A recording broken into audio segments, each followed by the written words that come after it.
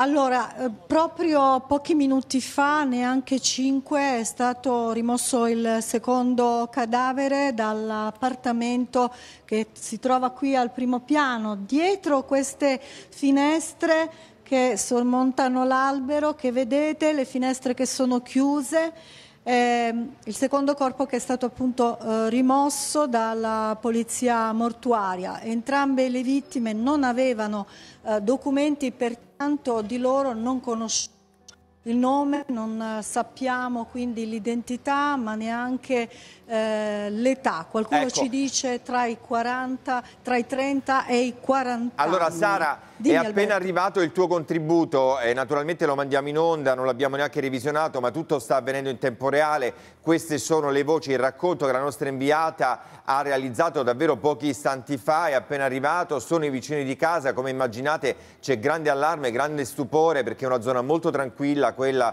eh, da, dalla quale noi anche trasmettiamo, una zona residenziale, una zona piena di esercizi commerciali e piena di persone fino a tarda sera. Eh, questo è il racconto della nostra inviata, le voci, le testimonianze dei vicini di casa, tre omicidi in due ore nell'arco di un chilometro, guardate. Oggi è stata una giornata un po' particolare. Tranquillo, verso le 10 c'è stata una cacciara, hanno chiuso le strade, polizia, ambulanza, fino a che non si è saputo che hanno ammazzato due cinesi, però non abbiamo né visto né sentito niente. Quartieri da Citurno, gente tranquilla, di passaggio, soprattutto avvocati, gente normale, persone anziane.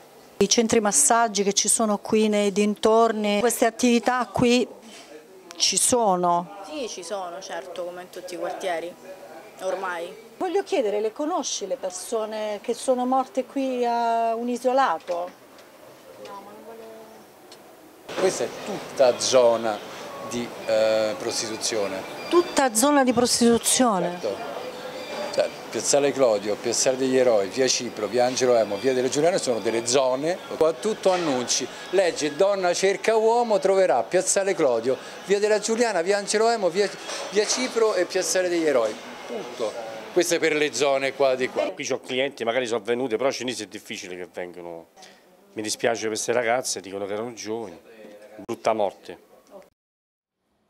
Beh, devo dire che evidentemente esiste un mondo parallelo di cui noi non sì. ci rendiamo conto perché francamente insomma, non mi pare una fotografia molto attinente a reale, almeno eh, per quella che è la nostra esperienza. Il dato oggettivo esperienza. ci dice che insomma, tutte e tre le vittime appartengono a quel mondo e praticavano nei luoghi in cui purtroppo hanno trovato la morte, quindi vicino a noi. Roberta, questo eh, serial killer potrebbe colpire ancora, secondo allora, te? se è effettivamente la stessa mano che ha agito, è chiaro che è un soggetto che è in preda a un'escalation importante. Diciamo, tecnicamente è più uno spree killer, perché non c'è una, una distanza, temporale significativa tra i vari delitti. Quindi è un soggetto che sta vivendo probabilmente uno, una crisi di natura psicopatologica. Quindi certamente è un, verosimilmente un soggetto in condizioni molto molto critiche a livello comportamentale, se è lo stesso soggetto. Se si tratta invece di una concomitanza temporale di due accadimenti separati. Però sono state uccise con il coltello. Eh, lo so, però è un'arma eh, molto gettonata, molto get... eh, purtroppo, ecco, con purtroppo. questo tipo di omicidi. Quindi diciamo che l'ipotesi che possa essere la stessa mano la è realistica, mano. ma non è l'unica. Allora, Sara Verta, eh, tu ci hai detto prima che si stanno vagliando chiaramente le telecamere di videosorveglianza e di sicurezza della zona. Se abbiamo informazioni, naturalmente siamo ancora in onda per un'ora,